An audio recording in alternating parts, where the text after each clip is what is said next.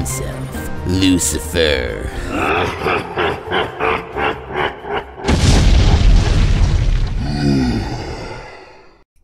Welcome back to SNN, Satan News Network. Tonight, we're going to look at two things that aren't so positive. Some disastrous setbacks in the development of our established plan. It's horrendous. I will share with you now and I'll try not to vomit, but it's disgusting.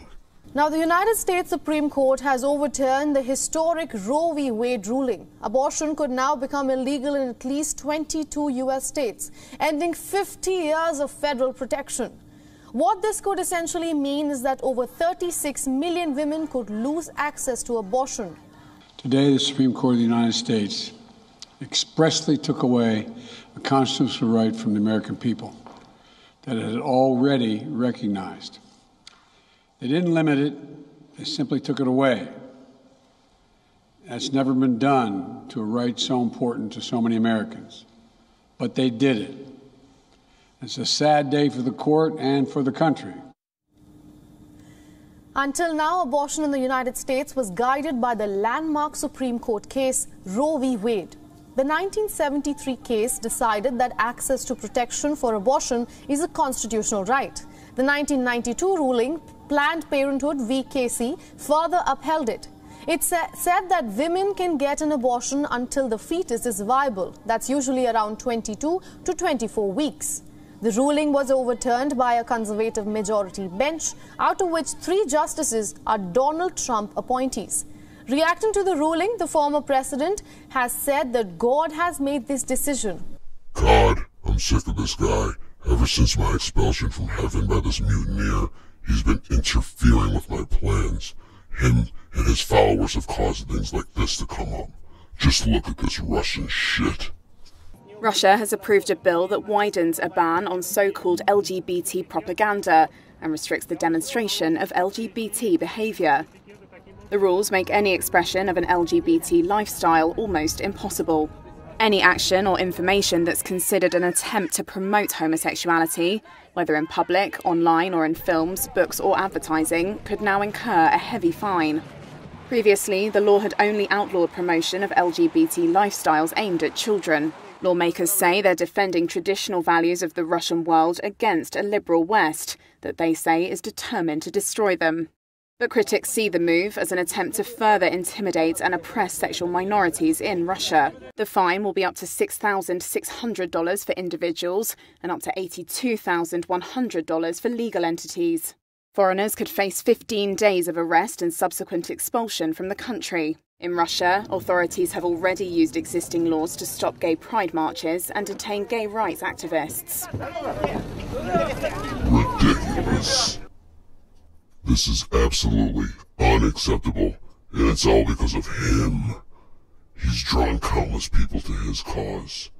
But luckily, we were able to influence enough people to infiltrate his establishment, the House of God. Take a look. This month, local churches are joining Pride celebrations in East Tennessee, celebrating members of the LGBTQ community. And 10 News reporter Vinay Simlot spoke to some religious leaders about how they say Pride can coincide with religion. I now pronounce you husband and husband. The first legal gay marriage in Knox County. In the Unitarian Universalist Church, I found a place that I could express that Christian side of me and that that theology would fully embrace who I was as a gay person, as a queer person. His church embraces him and his sexuality. So does the Episcopal Church. Bishop Brian Cole held a Pride Mass last Friday. The gospel is, a, is an open door. And so for me, Pride Mass was a chance to celebrate that. His goal is to welcome everybody. Jesus is always challenging us to love the person we don't think is lovable. Would you look at that? How about that, Jehovah? Now, to end the night, a musical number, a beautiful piece used to corrupt the minds of the youth and bring countless more children to the cause. Take a look. you think we're sinful?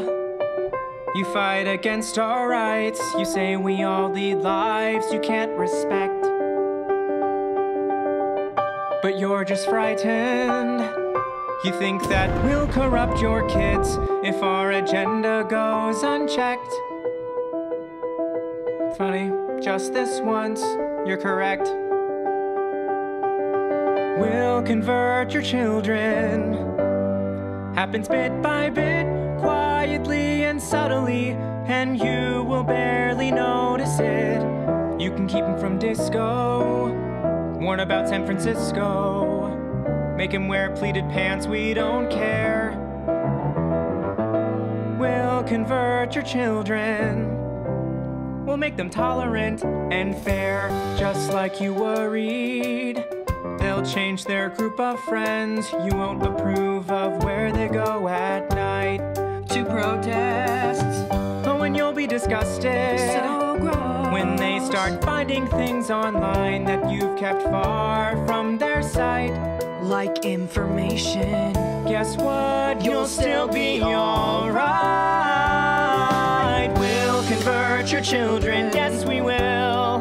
Reaching one and all, there's really no escaping it. Cause even grandma likes RuPaul. And the world's getting kinder. Gen Z's gayer than Grindr. Learn to love, learn to vogue, face your fate.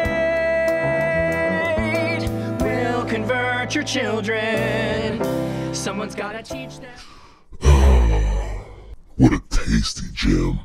You see, no matter how bad the news gets, we will always reign supreme.